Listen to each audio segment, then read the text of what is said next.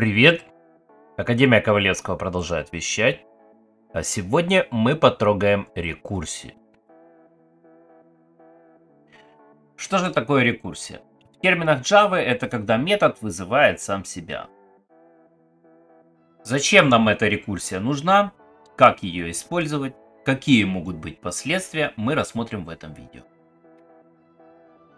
Рекурсия это такой же инструмент языка Java, как и циклы или стримы, но для него нет ключевого слова специального. И это такой себе островок функциональщины в объектно-ориентированном языке программирования. Давайте посмотрим, как это работает в IDE. -шке. Рекурсия может вначале показаться сложным, но на самом деле это простая штука. Попробую объяснить принцип рекурсии на вот этом, как мне кажется, простом примере. Суть его в том, что он печатает на экран поэлементно содержимое массива альфа-бет. Как это происходит? Вот этот метод printArray, он принимает на вход индекс. И этот индекс использует в 19 строке для печати одного конкретного элемента из массива альфа-бет. Как мы его начинаем использовать? В девятой строке мы ему передаем крайний элемент, то бишь 25. Э, Это как раз z. Теперь рассмотрим, как работает этот print array. Перед тем, как он в 19 строке что-то напечатает, для удобства он нам еще выведет на экран, с каким индексом он был вызван. В 14-16 строке обязательное условие завершения работы рекурсии. И, собственно, в 17 строке рекурсивный вызов самого же себя. И вот для примера Наш первый вызов в девятой строке привел к выведению на экран вот этой строчки с индексом 25. После 13 строки мы перешли к 14 строке, условие не сработало. Сразу же проваливаемся в 17 строку и вызываем себя же, но уже с индексом минус 1. Программа передает управление в новый фрейм метода. То есть именно в 17 строке создается новый фрейм метода printArray, в котором индекс на единичку меньше, и управление программой уже там, внутри него. Внутри него снова происходит печать на экран с индексом на единичку меньше. Снова не выполняется условие. Снова мы доходим до 17 строки. Снова вызываем самого себя на индекс минус 1. И снова управление программой проваливается в новый фрейм метод с индексом 23, на единичку меньше. И так мы идем, идем, идем, идем, проваливаемся во фрейме метода, пока не доходим до 26 фрейма метода с индексом минус 1. И тут-то уже срабатывает наше условие в 14 строке. И мы просто завершаем работу метода. Что это нам дает? Завершив свою работу, конкретный стек фрейма сворачивается, Управление программой возвращается обратно в 17 строку. И дальше выполняется код, который написан после 17 строки. В данном случае это вывод на экран какого-то сообщения и содержимого ячейки алфабет по индексу. То есть условие у нас сработало по индексу минус 1 и мы просто вышли из метода. В следующем фрейме метода, куда мы вернулись, мы уже выполняем 19 строчку. И поэтому выводим содержимое ячейки по индексу 0, а это у нас A. После 19 строки метод как бы завершил свою работу, потому что дальше нет кода, это логично. Мы возвращаемся в предыдущий фрейм этого же метода. Опять в 17 строчку. И снова проваливаемся в 19.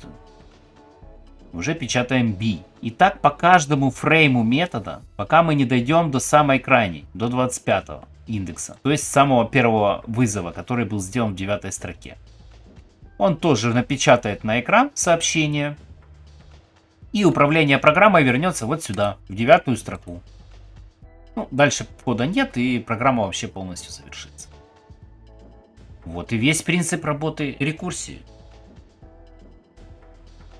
Что дает нам этот инструмент, рекурсия? Ну, во-первых, он нам приносит функциональную неизменяемость. Что я имею в виду? У нас внутри метода нет изменяемых переменных. То есть нет каких-то индексов, которые мы случайно или не случайно можем поменять, или кто-то нам их может поменять. То есть это такой функциональный подход, который для объектно-ориентированного программирования не всегда понятен даже или нужен, но он здесь есть. Второй прелестью рекурсии можно назвать простота. Ну, простота для тех, кто понимает рекурсию. Для примера давайте посмотрим на числа Фибоначчи. О числах Фибоначчи можно почитать в Википедии. Вкратце, это ряд чисел. Каждое следующее число Фибоначчи формируется из суммы двух предыдущих чисел. Фибоначчи, если мы двигаемся вправо от нуля. Если мы двигаемся влево от нуля, то это, соответственно, разница двух предыдущих чисел Фибоначчи. То есть, например, двойка складывается, вот второй номер числа Фибоначчи равен единице. Почему? Потому что это 0 плюс 1. Третий номер Фибоначчи равен двойке. Почему? Потому что 1 плюс 1. И так далее. Соответственно, седьмой номер числа Фибоначчи это 13. Почему? Потому что 8 плюс 5. А теперь идем в код и смотрим, как это можно вычислить. Рассмотрим решение задачки поиска числа Фибоначчи с помощью циклов. Итак, у нас есть метод FibLoops. Он на вход принимает индекс числа, которое нужно найти. В 14 строке он отсекает отрицательные варианты индексов, а дальше начинаем подготовку к вычислению. Итак, сначала нам надо создать предпредыдущее число Фибоначчи, потом предыдущее число Фибоначчи, чтобы в результате их сложения найти искомое число Фибоначчи. Как это происходит? В цикле, который итерируется до индекса включительно, мы складываем предпредыдущее и предыдущее числа Фибоначчи. Соответственно, получаем текущее. Дальше нам надо как бы передвинуть эти переменные. И предпредыдущему числу Фибоначчи мы при э, ссылке, тут можно запутаться, мы присваиваем предыдущий. А предыдущий мы присваиваем текущий. И так n раз, пока мы не достигнем искомого индекса. Ну и в конце концов возвращаем. Если посидеть разобраться, в принципе выглядит просто. И эта штука даже работает. Вот. По нулевому индексу у нас число 0, по десятому у нас число 55 и по 15 соответственно 610. Вроде бы правильно. Идем дальше. Теперь давайте быстренько глянем на вариант решения задачи поиска числа Фибоначчи с помощью стримов. Вот у нас есть такой метод FibStream который также принимает индекс искомого числа Фибоначчи. Я создал временную переменную result, которую сохраню результаты работы стрима. Что я делаю? Собственно, создаю стрим, вызываю метод iterate, который до бесконечности будет возвращать этот же стрим.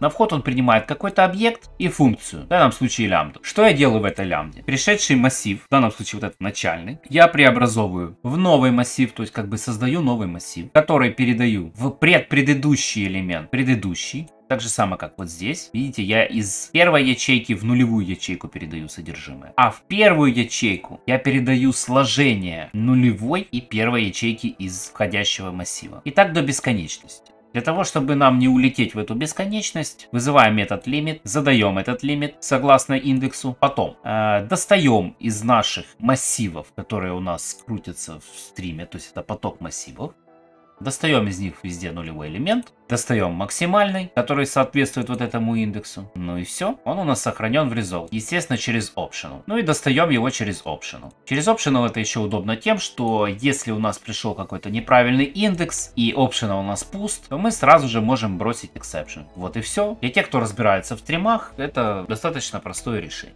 Запустим реализацию на стримах, проверим, что она работает. Да, такие работают, числа совпадают. А вот пример рекурсивного способа решения задачи по поиску числа Фибоначчи.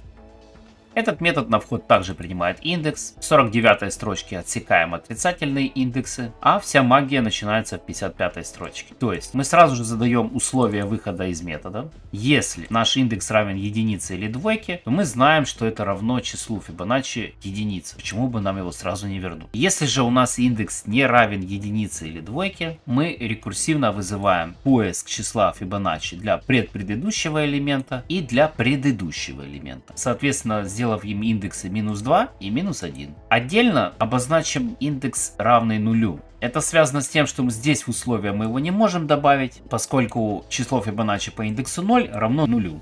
Если нам придет на вход нулевой индекс, который не будет соответствовать вот этому условию, мы провалимся в рекурсивный вызов, а потом упремся в исключение, поскольку отрицательных индексов мы себе не позволили.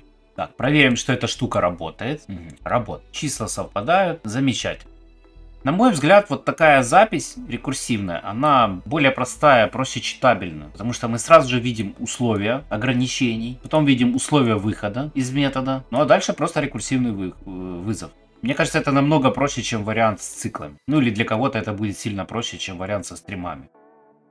Внимательные слушатели подумали о том, что рекурсивные вызовы не бесплатны, ведь каждый рекурсивный вызов создает новые фрейм метода. И, например, если вот в этом принтере алфавита мы уберем условия выхода из метода, то мы получим Stack Overflow Error, потому что наш метод будет вечно сам себя вызывать и не настанет никогда ситуация, когда он прекратит это делать. Да, и вот наш Stack Overflow Error.